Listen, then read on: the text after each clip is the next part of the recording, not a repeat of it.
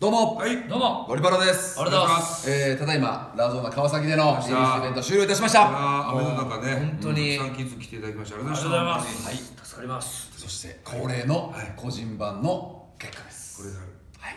今日はちょっと手応えないな。さあ、ラゾーナどんな感じなんでしょうか。発表します。ゴリケン。はい。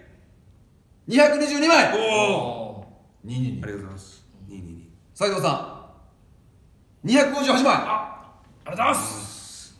そして私、矢野ペペ255枚。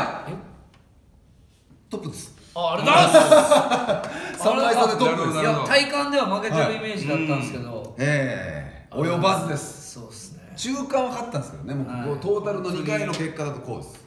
はい。三十四十の勝負が続きますね。ちょっとやばいな。